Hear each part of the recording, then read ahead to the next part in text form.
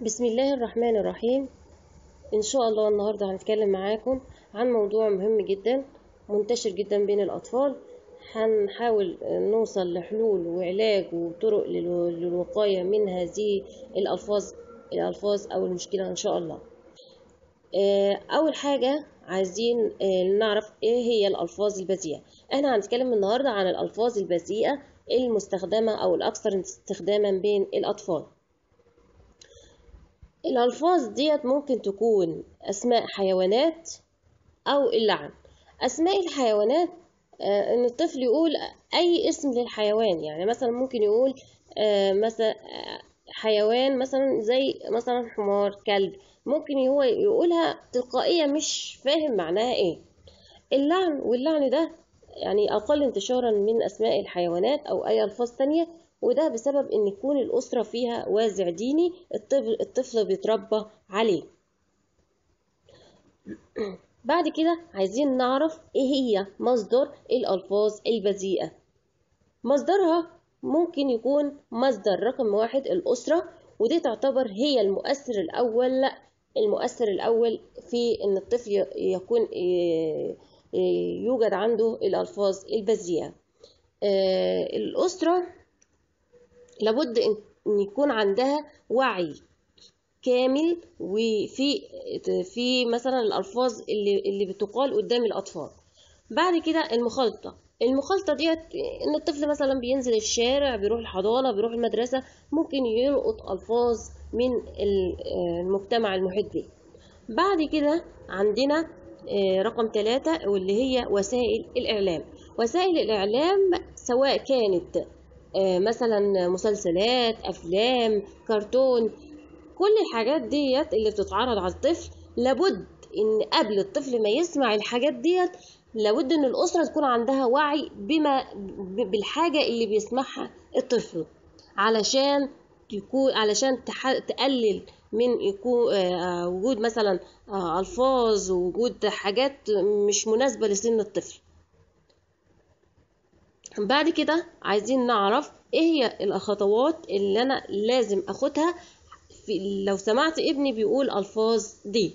رقم واحد ما يكونش ليا رد فعل إن أنا مثلا أضحك حتى لو كان اللفظ اللي بيقوله مضحك علشان ده هيساعده إن هو يكرر الألفاظ دي.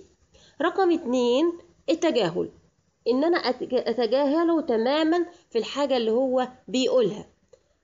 رقم اتنين تلاتة. أعرف السبب. أعرف هو جاب الحاجات دي منين. هل من الأسرة؟ هل من مخالطة مع اقرانه هل من وسائل الإعلام؟ أعرف سبب الألفاظ دي إيه أو جابها منين. بعد كده عايزة عايزين نعرف مصدر الكلام. هل مصدر الكلام برضو الأطفال؟ ولا مثلا سماعها من الأسرة؟ ولا مثلا سماعها من التلفزيون أو وسائل الإعلام؟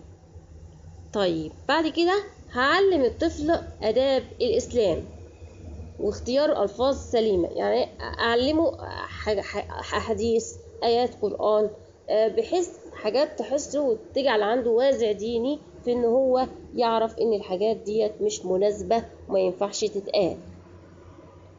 بعد كده عايزين نعرف بعد كده هنعرف الوقاية من المشكلة. أنا علشان أعمل وقاية من المشكلة ديت وأحمي طفلي هعامل الطفل زي ما أنا بحب أي حد يعاملني. يحب أنا علي ويكلمني بطريقة مناسبة يبقى أنا هتكلم مع ابني بطريقة مناسبة. بعد كده أنا هستعمل برضو اللغة اللي آه تناسب طفلي واللي ما ينفعش أتكلم إلا بيها لأن الطفل بيعبر عن الأسرة أو مستوى تفكير الأسرة المستوى الاجتماعي المستوى الاجتماعي والمستوى اللغوي كل ده بينعكس من الأسرة بينعكس على المستوى التفكيري للأسرة. بعد كده بعد كده هعرف مثلا هاخد بالي من اللغة المتداولة بين الأطفال. بين الأطفال. يعني مثلا لو لقيت ابني بيقول لفظ أسأله مثلا مين قال سمعته فين؟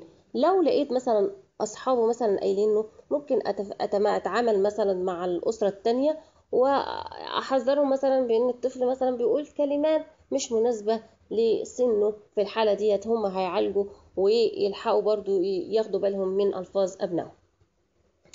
طيب إيه العلاج؟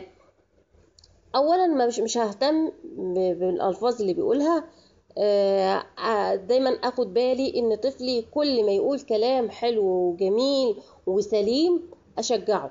التشجيع في حياة الطفل يعني بمثابة آه، شيء كبير جدا في حياته بيكون شخصية الطفل بيخلي الطفل عنده ثقة في نفسه آه، بيخلي الطفل يبقى دايما رايح للحاجة الكويسة عشان يعملها علشان هيكون في رد فعل من الأسرة وهو التشجيع. والتشجيع مش شرط يكون مادي لا إحنا نبعد تماما عن الش... عن التشجيع المادي. خلينا في التشجيع المعنوي. برافو ممتاز شاطر جميل حبيبي صاحبي. كل الحاجات دي بتشجع الطفل. بعد كده يعني مثلا احول اللفظ بتعديل بسيط. يعني مثلا لو ابني بيقول كلمات مثلا متلخبطة يعني مثلا ممكن يبدل حرف مكان حرف بحيث يطلع تطلع ممكن تطلع الكلمة مش مناسبة. لا أنا أحاول بطريقة بسيطة وسلسة اعدل الكلمة بإن أنا بنطقها له كذا مرة هو هيتعود ويكرر الصح. بلاش نكرر الغلط اللي الطفل بي